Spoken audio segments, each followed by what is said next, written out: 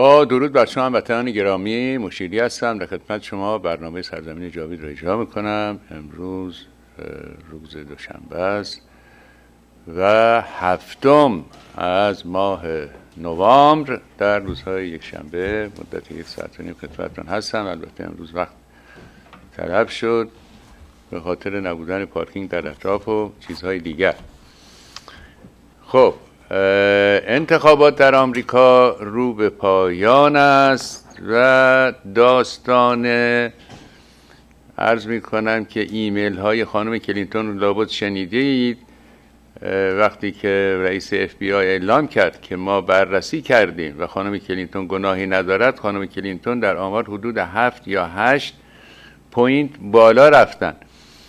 و بعد ناگهان هر شود که یک لپتاپی کش شد که متعلق به شوهر اون خانم هما بود پاکستانی که دوست نزدیکی که خانم کلینتون بود. گفتن 600 هزار ایمیل دیگه کش شد و این باعث شد که بسیار صدمه بخورد در واقع خانم کلینتون از لحاظ محبوبیت در بین مردم آمریکا پایین آمد. اما هرگز از دونالد ترامپ عقب نیفتاد.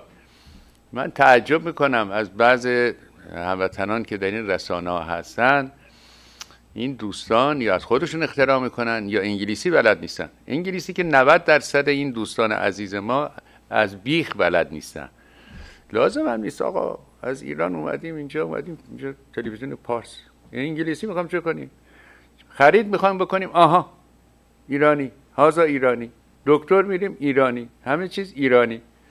زبان برای چی یاد بگیری؟ مامارا رو نمی‌تونم بخونم. اصلا معنیشون هم نمی‌تونم بفهمن متاسفانه. هزار جور آمار گفته میشه. آمار یک ایالت آمار یک منطقه آمار یک محله بزرگ. اینا نگاه می‌کنن رقم بالا رو می‌بینن خیال می‌کنن این در واقع آمار کل آمریکا. 500 جور آمار میاد بیرون در باب چیزا از آمارای قدیم آمارای جدید. اینها بعد هموطن رو گمراه می‌کنن متاسفانه. باری خانم کلینتون 268 electoral college vote را حتما می‌گویند دارد. دو تا لازم داره. دو تا. یعنی کافی است که یک ایالتی ببره که دو تا نماینده داشته باشه. که ایالت هایی که هستن بعضیشون مثل فلوریدا اینها خیلی بیشتر هستن. و به کاخ ریاست جمهوری راه پیدا بکند. کار بر دانالد ترامپ بسیار بسیار مشکل و نزدیک به غیر ممکن است. حالا ببینیم چه خواهد شد. ببینیم چه خواهد شد. و بعد همین دیروز بود که رئیس اف بی آمد گفت آقا ما این یکی هم نگاه کردیم. چیزی درش نبود. جرمی جنایتی چیز قابلی. و همون حرف جولای ما که در اول جولای گفتیم همون حرف هنوز هم صادق است و خانم کلینتون کار جنایی انجام نداده. این باعث شد که خانم کلینتون در آمار بیاد و موقعیتش قوی تر بشه.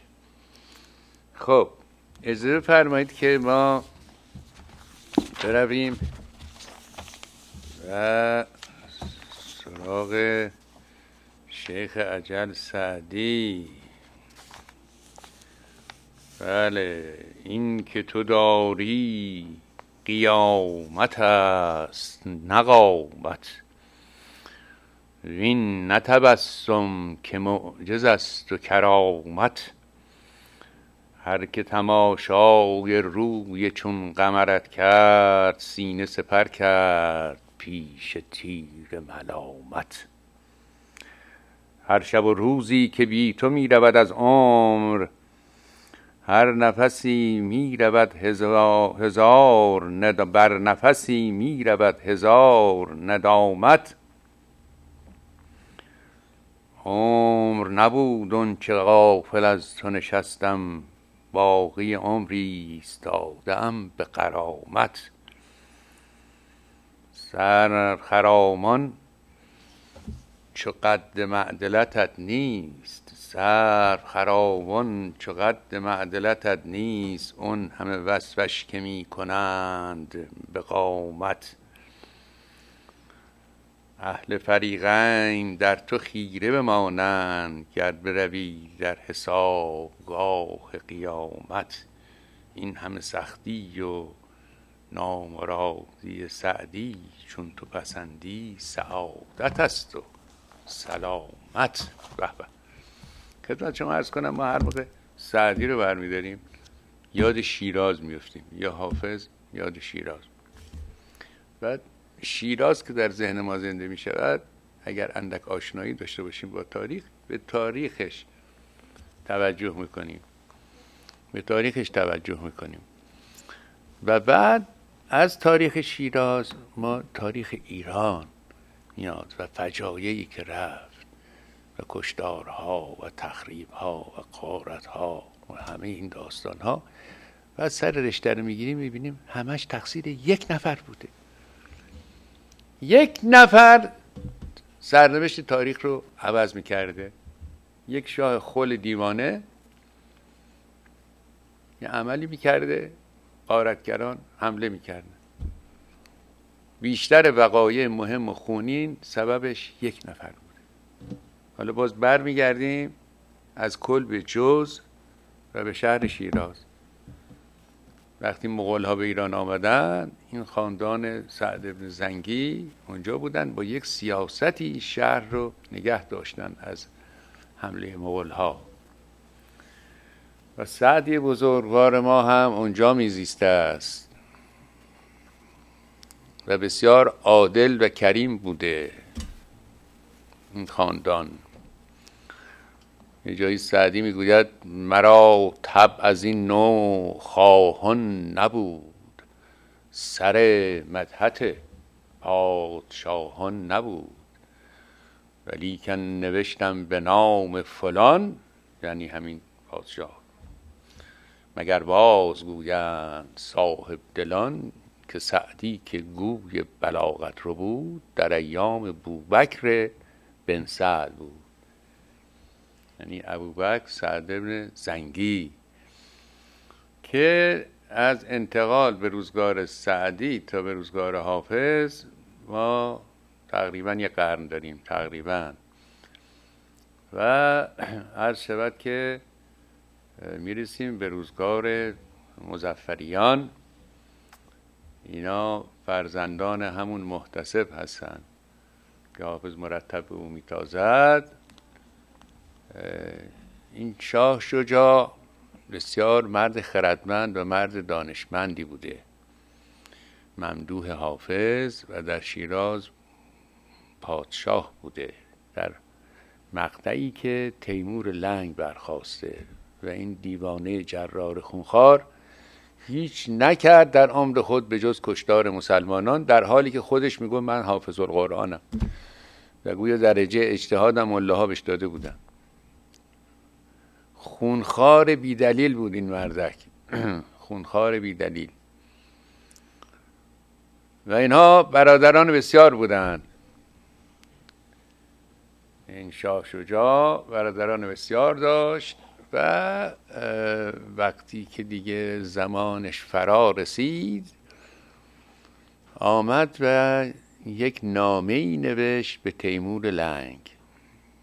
این نامه به خط شاه شجاع امروز در دسترس است.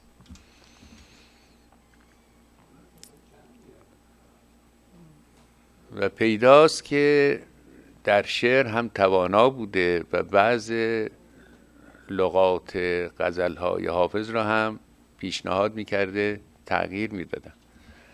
حافظ تغییر می‌داده. یاد باد که به اصلاح شما می‌شد راست. نظم هر گوهر ناسفته که حافظ را بود. به شاه شجاع می‌گوید. زمانی که برادرش بیرونش کرده و رفته تبریز. رفته تبریز. در فراغش حافظ می‌گوید یاد باد اون که به اصلاح شما می‌شد راست نظم هر گوهر ناسفته که حافظ را بود. پیداست که شاه دخالت می‌کرد. باری یک نامه ای نوشته است به تیمور لنگ که خب خود شاه می‌دانست که باباش پادشاه یک شهره. اون تیمور لنگ گرفته بود تمام این مناطق رو گرفته بود. یک آدم خونخوار از می‌کنم که سپه سالار اونچنانی بود. می‌دانست که باعث یه کاری بکند که این به شیراز حمله نکند. و البته وقتی می‌گوییم به شیراز خب اصفهان هم سر راشه. آمد یک نامه نوشت داد به پسرش پسر بی ارزش زین العابدین گو ای زین العابدین بترس از این تیمور. من یک نامه به این نوشتم. نامش می‌گوید که خلاصش اظهار کوچکی می‌کند تواضع می‌کند. و تیمور رو از اون هست بزرگتر می کند و می‌گوید من فرزند خود رو به تو می سپارم چنین و چنان زی در, در, در کنف حمایت امیر بزرگ امیدوارم که پسرم موفق بشه و زیر سایه حمایت نمی‌دونم شاه جهان که تو باشی چنین باشه و چنان باشه به همون شیوه قدیم. و به پسرش می‌گوید پسر من مردم این نامه رو می‌زنی زیر بغلت و ببخشید نامه رو که با پستچیش میفرسته. هدایای درست بر میداری میری پیش تیمور لنگ اونجا تعظیم می‌کنی تکریم می‌کنی خودت معرفی می‌کنی و بر میگردی این بیابونگردا یک صفاتی دارن به هر صورت. گاهی اوقات یک فتوبتی از اینها ممکنه سر بزنه. نکنه که نری. گفت نه بابا جون تو سرت بذار زمین من خیال راحت بشه شاه شجاع فوت شد و این زن العابدین نشست به عرق خوری. اون زمان تازه چیز ارز کنم خدمتتون معترضه که عرق خوردن اولین بار در تاریخ در باب تیمور آمده که می‌گوید امیر از فرط ارز کنم که مبالغه در نوشیدن عرق از خواب و نتوانست بلند شود. این اولین بار است که در تاریخ نام عرق رفته. وا باشه. نشست به شراب و اینها و هر کی می‌گفت که آقا یکی از این وزرا از این دانا که آقا این نامه که پدر شما نوشته به اون این منتظره. شما بیا برو و هدایا رو ببر و اظهار کوچکی بکن. وگرنه ممکنه بیاد هممون رو سر ببره اینا. می‌گفت خر کیه این مرد که شل و اینا که بیاد اینجا.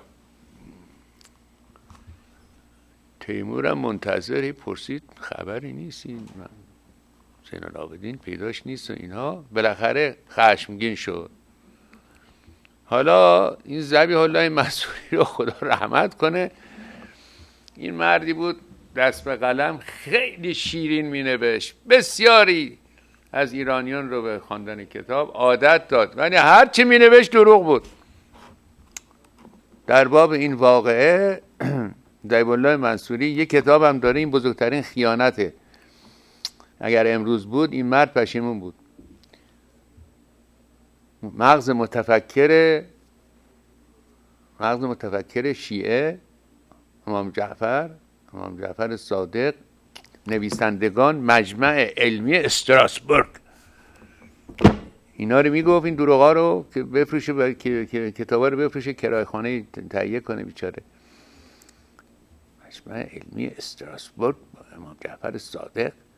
این حرفای امام جعفر صادق ببری از مرز ایران ببری. پاکستان هم به آدم میخندن تا چه رسه؟ حالا بمانه. این آمده تاریخ نویسی کنه می‌گوید که تیمور دلدرد گرفت. گفتن حکیمان که بهترین آبلیموها که معالج بیماری تو هست در شیرازه. او هم یک عرابه شش اسبه فرستاد پیش پادشاه شیراز که آقا به ما آبلیمو بده. اونم جواب داد مرد که مگه اینجا دکان بقالیست من به تو آبلیمو بدم. اینها تیمور خشکین شدن خب اینم دیگه چه کنیم دیگه؟ همه چیز ما هم همه چیز مانه. باری تیمور لشکر کشید و طبیعتا میبایست از اصفهان عبور کند به طرف شیراز. اصفهان رو گرفتن خیلی کشدار نشد و چند تا از این دژبانای مغول گذاشتن اونجا که مالیات جمع کنن و به طرف شیراز حرکت کرد. به محضی که رفتن بعض اصفهانی ها گفتن آقا این ننگ بر ما اینا کفار مغول هستن ریختن این مغول ها رو کشتن. خبر به تیمور رسید آمد اصفهان رو قتل عام کرد. بیشتر از هشتاد هفتاد هشتاد هزار نفر رو سر برید و مناره درست کرد در اطراف از سرهای بریده. شما تجسم کنید چه وحشی ها بودن در این منطقه و چه کارها کردن. شهر زیبای اصفهان رو به دریای خون تبدیل کرد و تخریب کرد و رفت. وقتی رسید اونجا دیگه شاه شجاعی نبود این زین العابدین هم در رفته بود شاه منصور اونجا بود. شاه منصور بیا که رایت منصور پادشاه رسید. نوید فتح و بشارت به مهر و ماه رسید. شاه منصور. شاه منصور خب در یک شهر مگه شهر چه, تعداد مدافع داره؟ سه هزار نفر. شاه منصور از شهر میاد بیرون و فرار می‌کنه. میره در مثلا 20 کیلومتری شیراز. اونجا در در واقع اون سوی. شیراز نه به سوی تیمور. اونجا نشسته. می‌بینن یه بابایی با علاقش و زندگیش رد میشه میاد میگه آقا از کجا میگه گفت از شیراز. گفت چه می‌گفتن؟ اهالی. گفت اهالی می‌گفتن این خاندان مزفری یک عمر از دسترنج مردم شیراز. خوردند و خوابیدن حالا که دشمن نزدیک شده گریختن. این شاه منصور بسیار خجالت می‌کشه و این سپاه سه هزار نفری رو میاد و سفارایی می‌کنه. در پیشا پیش سپاه سی هزار نفری حداقل تیمور لنگ و یک جنگ مردانه ای کرد. یکی دو بارم نوشتن که نزدیک شد به تیمور و نزدیک بود که جان پلید او رو از قفس تن بیرون کند.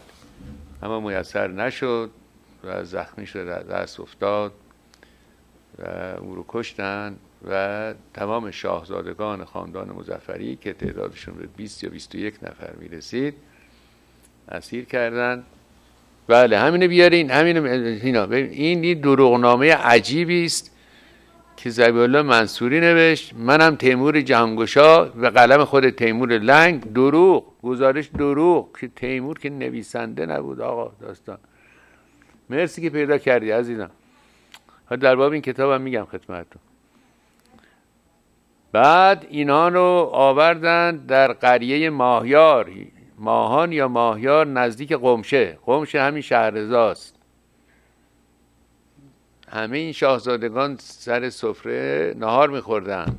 تیمور برگشت گفت هرگز اینطور برادر برادرانه با هم نهار خوردین. خورده بودین. یکیشون شجاعتر بود. گفت اگر ما برادرانه رفتار کرده بودیم تو به ما پیروز نمی‌شدی.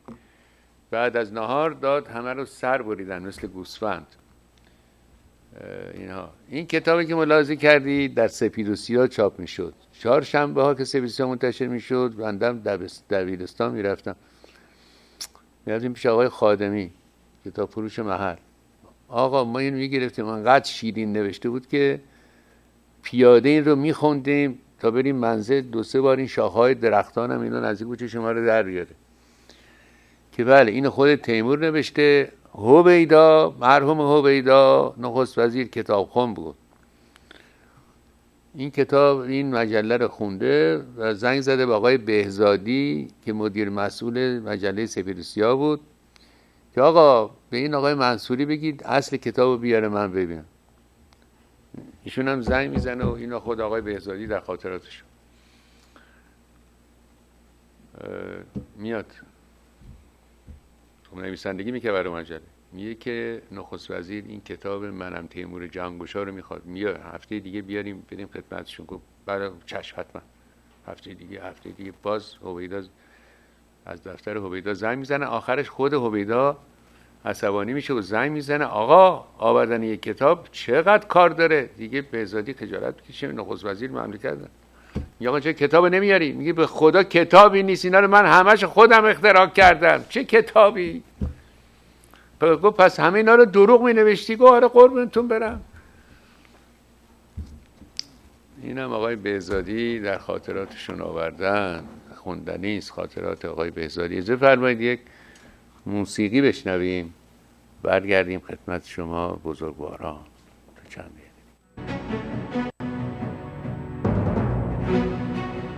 هموطنان عزیز نگاهبان برنامه های سرزمین جاوید شما هستید. این مجموعه فرهنگی را به طور مستمر یاری دهید.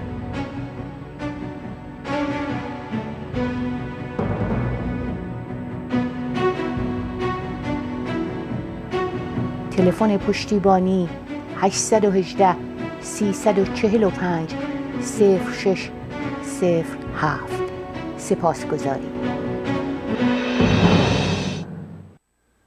با درود دوباره هموطنان بینندگان محترم در باب تاثیر یک نفر.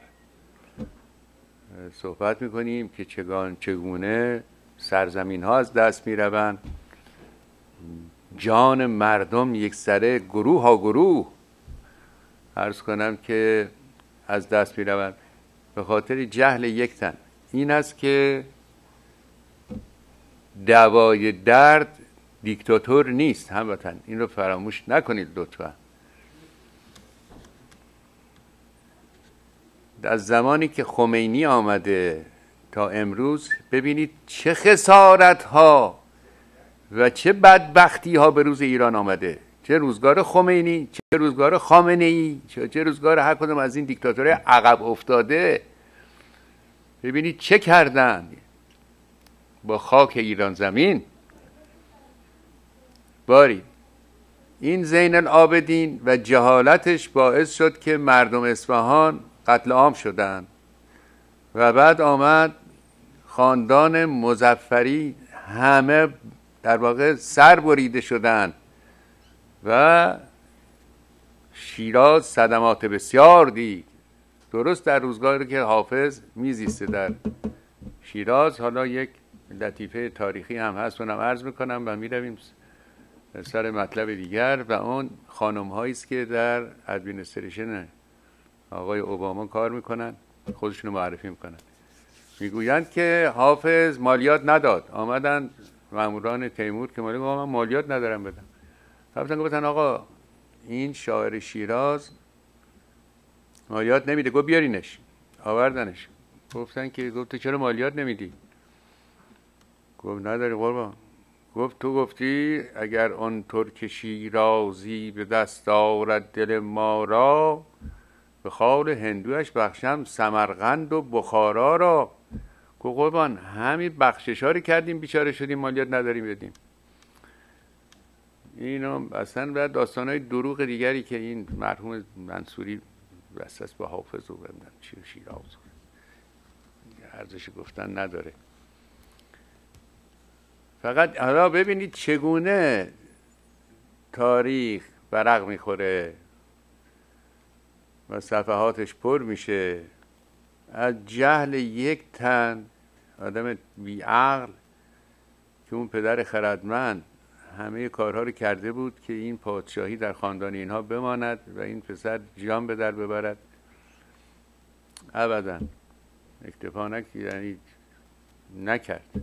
هرچه در گوش او گفت اثر نکرد تا تیمور لنگ آمد و این کارها رو در اونجا انجام داد. حمله مغول ها هم به همین وجه بوده. بی سیاستی یک تن بوده. اونم سلطان محمد خار شاه خب خواهش می‌کنم این خانم هایی که ایرانی که در تشکیلات دولت اوباما کار کردن بر نشون بدید خانم ایرانی هستن بله. کاخ سفید کار می‌کنم. من پانتر فاعد هستم. در دفتر امور اجتماعی کاخ سفید کار می‌کنم. اسم من فیال گوشیری دستیار ویژه براک اوباما هستم. من سر نوروزاده هستم. مدیر ایران در شورای امنیت ملی در کاخ سفید هستم. من هدیه غفاریان مدیر دفتر گلارایی کاخ سفید هستم. بله. هموطنان ما بانوان برجسته در کاخ سفید.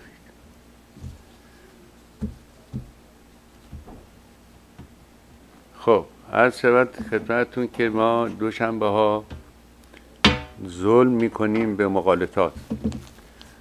گاهی باید ما در باب این مقالطات سالها صحبت کردیم. اما مطمئنا ما هموطنانی داریم که تازه ملحق شدن به ما ما باید یک مروری بکنیم که اینها چه هستن؟ این مقالطات به چه معنی است؟ و اهمیتشون در چیست؟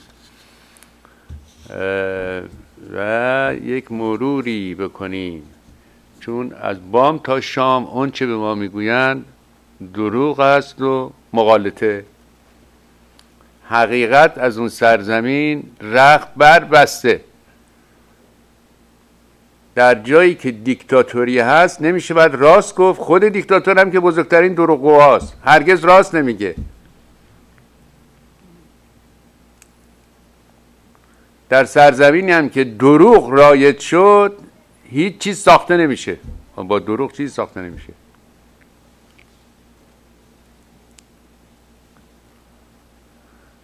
عرض می‌کنم که این زبان ظاهرا فرمان بردار مغزه. این تصور قدیمی است بعد معلوم شد که اساسا اگر زبان نباشد تفکر شکل نمی‌گیره. لینگویست های جدید سخنان خیلی جالب گفتن که خیلی شنیدنی است و در یک فرصتی مفصل خدمتتون عرض می‌کنم که علم جدید چه می‌گوید؟ و بعد از تکرار یک مطلب مغز فرمان بردار زبان میشه. یعنی وقتی ما یه مطلب دروغی رو صد بار دویست بار تکرار کنیم شکل می‌گیره مغز. این رو به عنوان حقیقت میپذیره. بعد بعد از تکرار این چنان به راحتی این دروغ رو می‌گوییم که از صد تا راست هم بهتر.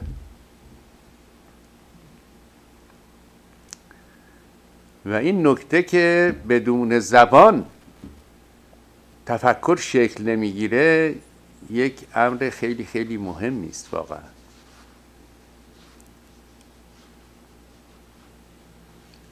و گرایش آدم ها به این هست که برای برون رفت از مزایق تغییر بدن. یه کارایی با زبان بکنن. شما حتی می توانید با تغییر اکسنت یک حقیقتی رو پنهان کنید یا به گونه دیگر جلوه بدید.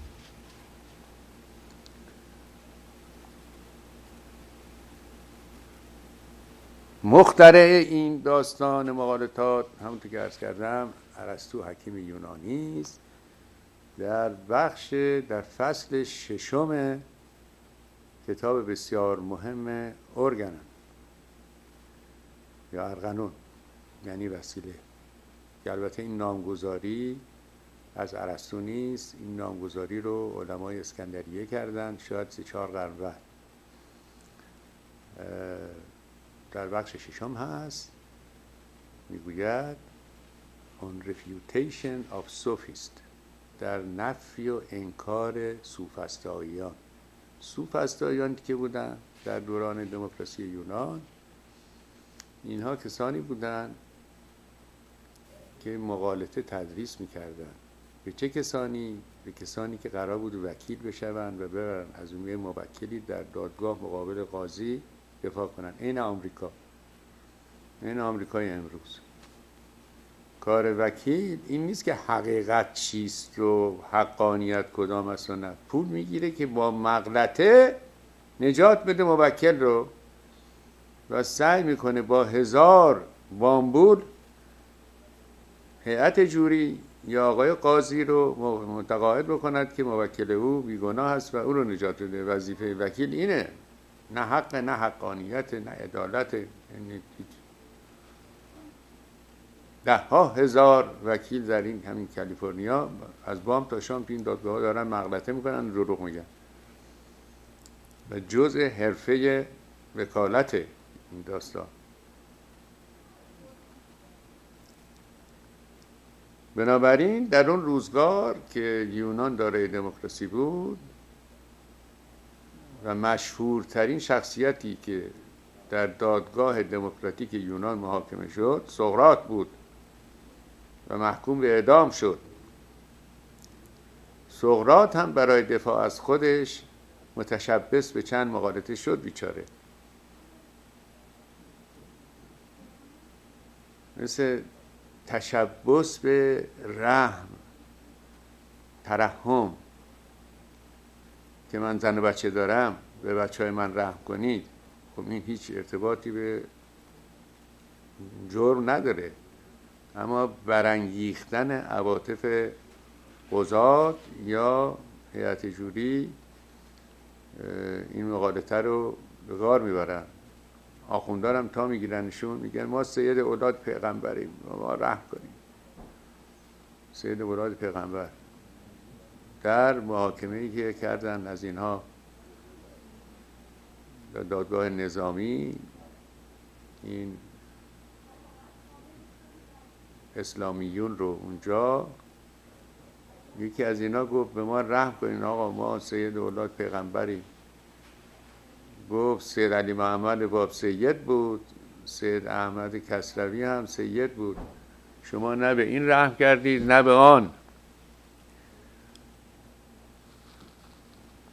خب پس سوفستایی ها چه می‌کردن؟ سوفستایی ها شاگردان خود رو تربیت می‌کردن پول خیلی زیادی هم ازشون می‌گرفتن. بابت یاد دادن فن مقالطه که کی چه, که چه بگوین در جواب چه سوالی چه, چه مطلبی رو مطرح کنن اینا که بتوانن این وکیل رو نجات بدن.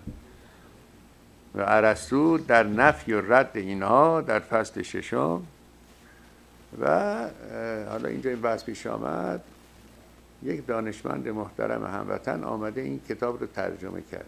منتها به زبان اجنه ترجمه کرد. به قول توست خراسانی. می‌گوید آکاناویک. آکاناویک یک.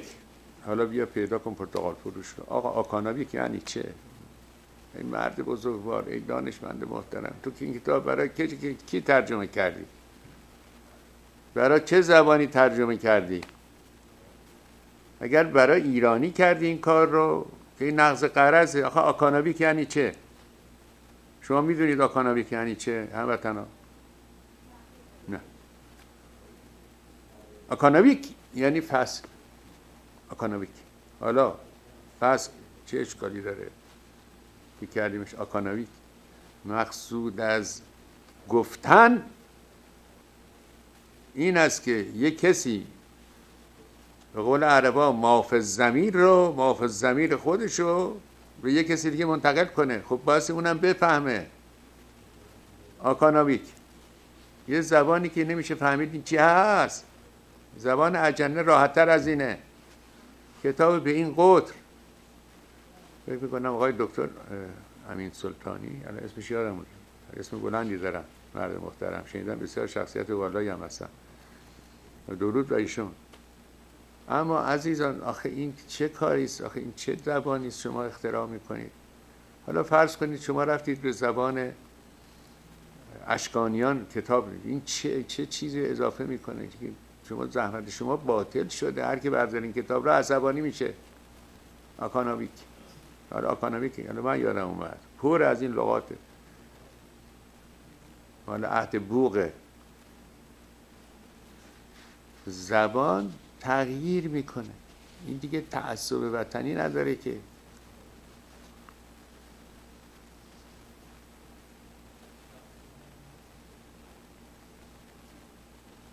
یک لغات بسیار سقیل پهلوی بوده در زبان مردم استفاده نکرد.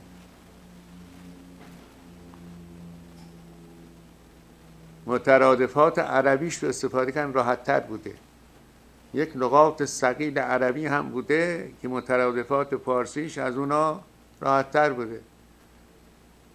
استاتیک زبان رو فراموش نباید کرد. این زیبایی لغت باعث ماندگاریش میشه. مثل سلات. دیگه پرزورترین لغت عربی سلاته. چرا؟ چون عمود دینه. این صلات تنهی المنکر و الفحشا اگه درست گفته باشه. ولی این سلات هر چی زور زده وارد زبان پارسی نشده. همون نماز پارسی بر جای مانده. یا خدا. خدا خیلی چهره زیباتری داره از الله. و ایرانی الله رو استفاده نمی‌کنه. میگه الله نگه داره خدا نگه داره خدایا. چنین و چنان. بنابراین این یک تعصب بیهوده است واقعا. آکاناویک حالا همه ملت ایران بایستی برن یه دوره ببینن شش هفت ساله در دانشگاه گوتینگن که بیان بتونن کتاب ایشونو بخونن. کتاب منطق ارسطو میزه بدید که مثل که بله اینم خلاصه خبر. خب عرض می شود که در باب مقالطات صحبت می کردیم. اولین مغلطه ای که بایستی مد نظر باشد و بسیار بسیار رایج است و ما بارها اینا رو تکرار کردیم. حالا بازی مروری می‌کنیم بر اینها و امیدوارم که این کتاب که راجع است به مقالطات تمام بشود قبل از اینکه عمر ما تمام بشود شاید که یک دوره کرده باشیم اینجا. این علم منطق علم بسیار بسیار خشکه. در واقع نفرت انگیزی است. چیزی ازش نمیشه فهمید. مگر با مثال های درست و توضیحات روشن به زبان ساده که بنده سعی کردم که همین کار بکنم. اگر نه تعریف کردن این مسائل هیچ که نمی‌فهمید چی هست. اینقدر بیمزه است که بیمزه ترین چیز هست. ما آمدیم متون رو خواندیم و مقالطاتشون رو در آوردیم. مثلا فرض کنید این آیه قرآنی. و اذا قیل لهم لا تفسدوا فی الارض قالوا انما نحن مسلمون خب این مغلط است. مغلطه مصادره به مطلوب میگه وقتی به اونها گفته می‌شود که فساد نکنید در زمین می‌گویند ما مسلحیم حالا تو از کجا ثابت کردی که اینا فساد می‌کنن در زمین؟ مقصود یهودی هست مثل که بنده یقه همسایه رو بگیرم داد و فریاد مردم جمع کنم. چه خبر؟ آقا ما هر چی به میگیم نامرد نباش دزدی نکن. میگه من نه دزدیستم آدم خوبی است خب یکی پیدا میشه میگه آقا چیشی رو دزدیده؟ شما داری اتهام دزدی می‌زنی؟ کو دزدیش کو؟ نداری چیزی که بگی که. این هم که کسی نبوده که بگه آقا چی, یعنی چی؟ اصلا این مفسد و فل ارز یعنی چی؟ فساد در زمین یعنی چی؟ فساد یعنی چی؟ فساد ایناست که شما دارید می‌کنید. سر می‌برید و سر گردنه می‌گیرید این کارا.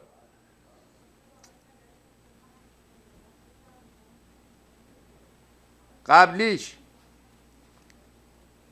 فی قلوبهم مرض فزادهم الله مرضا و لهم عذاب علیم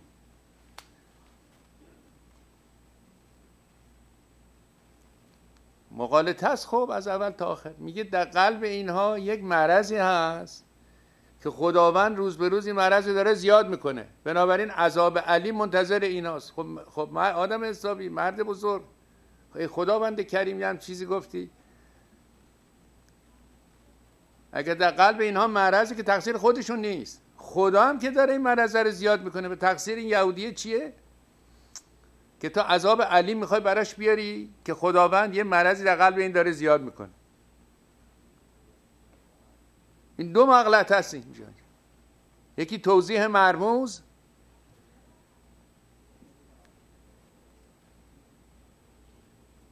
توضیح مرموز دیگه.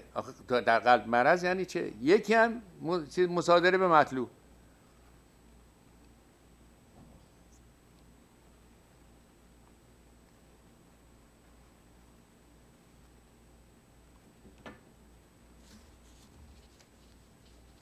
خب.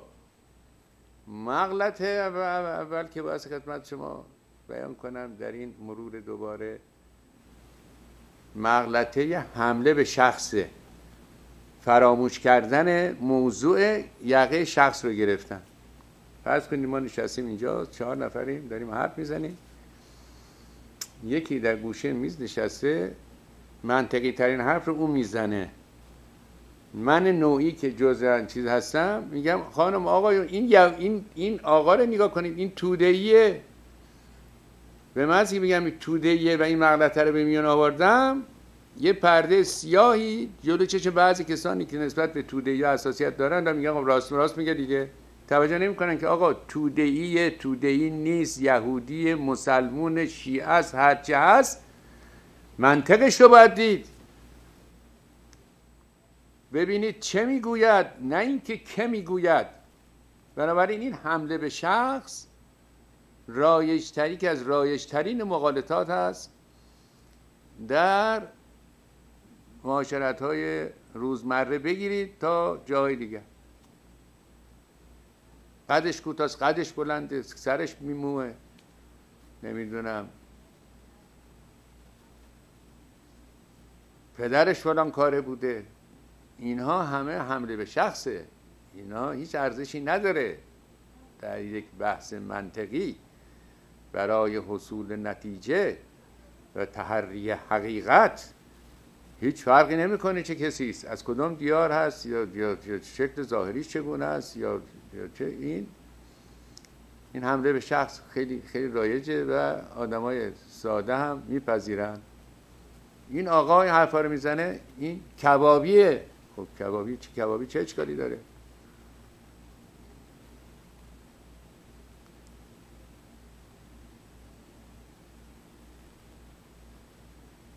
یکی نقل قول می‌کنه از یکی حرف حسابی. این کیو گفته اینو؟ اون چلاقه رو میگی؟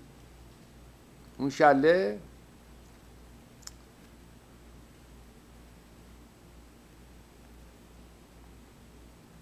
این خیلی خیلی خیلی رایجه. بسیار رایجه متاسفانه این حمله به شخص خیلی رایجه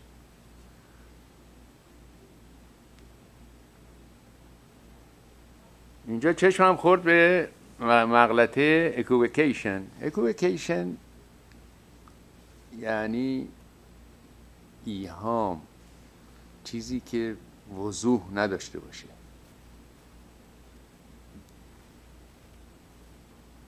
اگر چه باد فرح بخش و باد گل بیز است به بانگ چنگ مخور می که محتسب تیز است.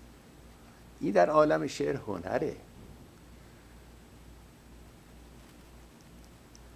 یا دیو بگزیر بگریزد از آن قوم که قرآن خوانند این ایهام این ایهام. ایهام در ادبیات هنره. در منطق مقالطه است. دیو بگریزد از اون قوم که قرآن خونه قرآن خونه اون چنان اینا آدمایی هستن که دیو هم از دست اینا فرار می‌کنه دست این آخونده یکی هم دیگه معنیش این است که خب جن جن جن و قبول نمی‌دونم چه اسم اسم چیزی کلمات قرآن بیاریم اونا فرار می‌کنن. این عناصر خبیسه فرار می‌کنن تا قرآن باز بکنید مثلا. من فکر می‌کنم معنی اول باید درست باشه. و بین دو معنی یکیش صحیحه یکیش مقصود نظر شاعره.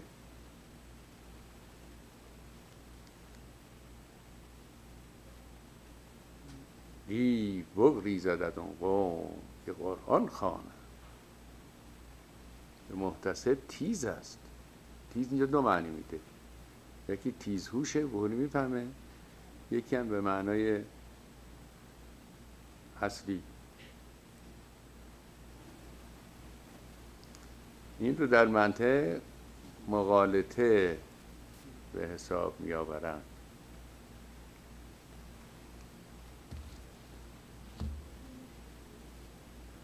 تو ادبیات فارسی به خصوص در حافظ ما ایهام زیاد داریم. خیلی خیلی به زیبایی سخن. می افزاید این ایهام.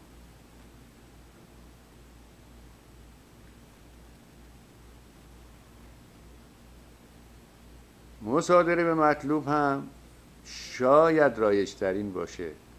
یعنی یک موضوعی به عوض اون که من رو اول به اثبات برسانم و بعد در بابش صحبت کنم. این رو چنان سخن می‌گویم که گویی نیازی نیست. این به صورت یک اصل حقیقی باید شما بدانید. مثلا بنده بنشینم اینجا بگم آقا من که آدم خیلی وطن پرستی هستم خدمت شما عرض می‌کنم که با این مصادره مطلوب دیگه. کی از کجا ثابت کردن که من وطن مثلا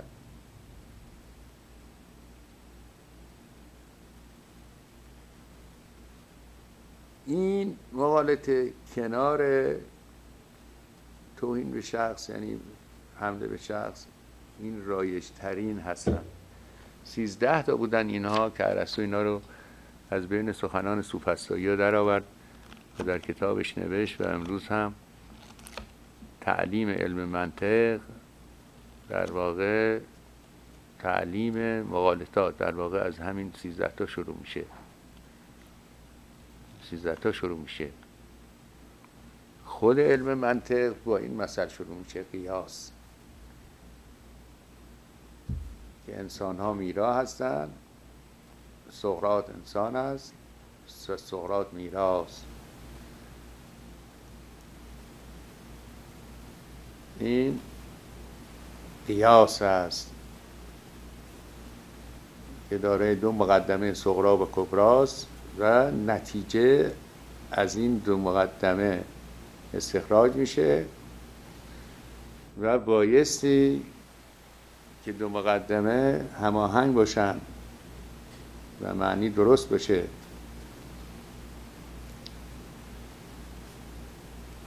قیاس داریم و استقرا در واقع قیاس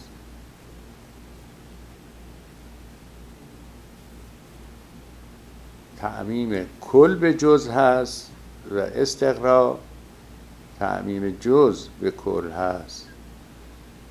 تو قیاس رو مد نظر داشت. استقرا از کنم که مد نظرش نبود. فکر کرد با قیاس همه چیز حل میشه. و گروهی تصور کردن که تا زمانی که ما این منطق خشک رو می توانیم در واقع بیاوریم که مقدماتش و نتیجهش با هم بخواند بنابراین ما کشف کردیم. در حالی که منطق اساسا آلت کشف نیست. کشف در آزمایشگاه میشه با مشاهده و آزمون میشه.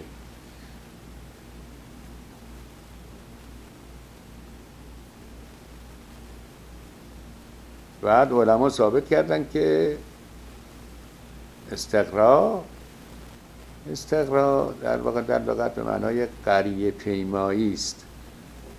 در منطق به معنای تعمیم جز به کل هست و در علم بیشتر طریق استقراست.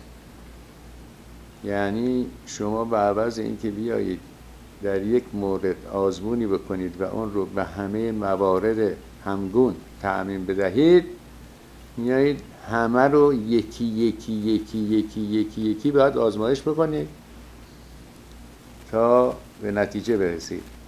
و بعد بگویید خب تعداد زیادیش رو ما مورد مطالعه قرار دادیم بنابراین این نوع بایستی اینطور باشه.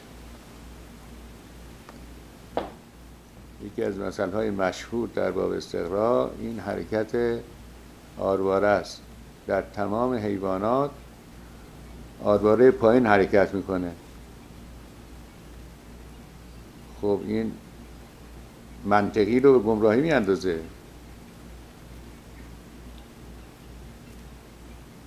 ممکن است بگوید در همه حیوانات آرواره پایین حرکت می‌کند. گاو حیوان است. بنابراین گاو آرواره پایینش حرکت می‌کنه. با این قیاس.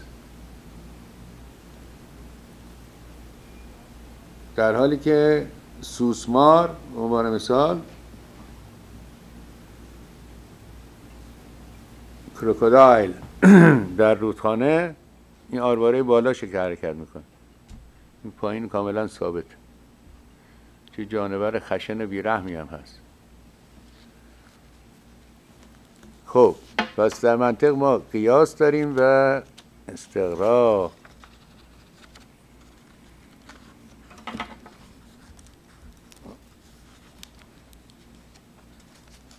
بله.